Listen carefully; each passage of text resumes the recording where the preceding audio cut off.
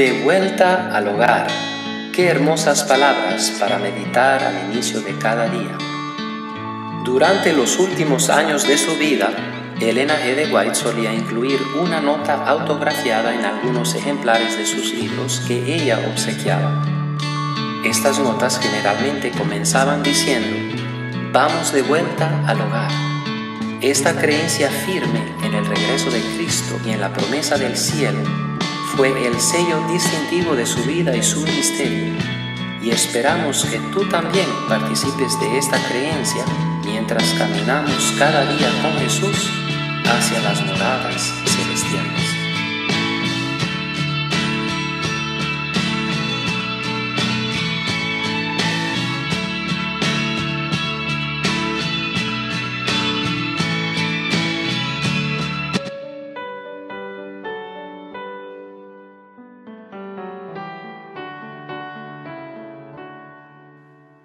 Así que somos embajadores de Cristo como si Dios los exhortara a ustedes por medio de nosotros. En nombre de Cristo les rogamos que se reconcilien con Dios. Segunda de Corintios 5:20. Esta es la lectura bíblica que servirá de base a nuestra meditación para adultos de hoy, que lleva como título Un llamado a los miembros inconversos de la familia. Y tal meditación es parte de una carta enviada por Elena G. de White a Elizabeth Banks su hermana gemela. Y dice así, Lizzie, ¿acaso no crees en Jesús? ¿No crees que Él es tu Salvador y que Él ha demostrado su amor por ti al entregar su preciosa vida para que puedas ser salva? Lo único que se requiere de ti es que aceptes a Jesús como tu amante Salvador. Le pido a Dios de todo corazón que el Señor se te revele personalmente, tanto a ti como a Reuben, el esposo de Lizzie. Tu vida en este mundo no es una vida de placer, sino de dolor. Y si no dudas de Jesús, sino que crees que Él murió para salvarte, si acudes a Él tal como estás, te entregas a Él y te aferras a sus promesas por medio de una fe viva, Él será para ti todo lo que deseas en tu corazón. A todos los que preguntan, ¿qué debo hacer para ser salvo?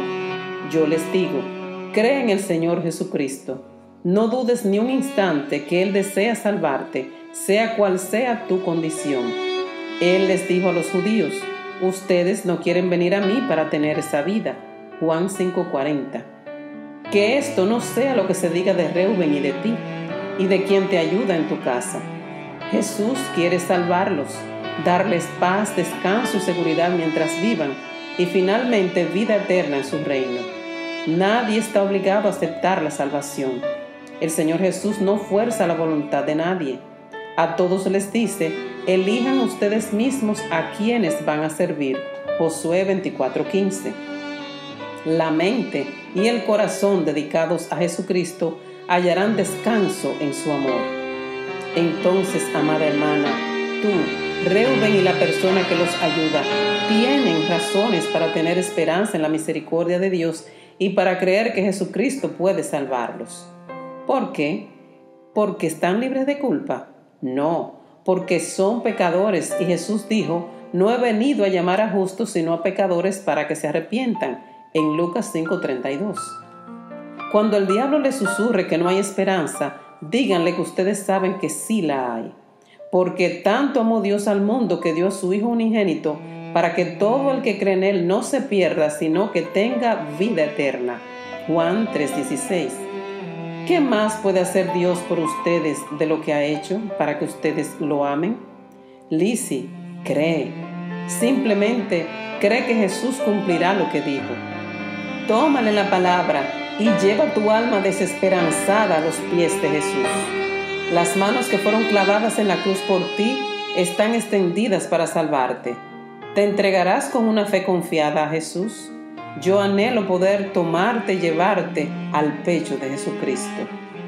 Debes aceptar a Jesús. Él desea darte su paz y la luz de su semblante. Lisi, mi corazón anhela verte confiado en Jesús, ya que Él puede darte su gracia y cargar con todos tus sufrimientos. Él te ama, Él quiere salvarte. Carta 61 año 1891. Oramos. Amado Dios que habitas en los cielos, nuevamente agradecidos estamos de ti.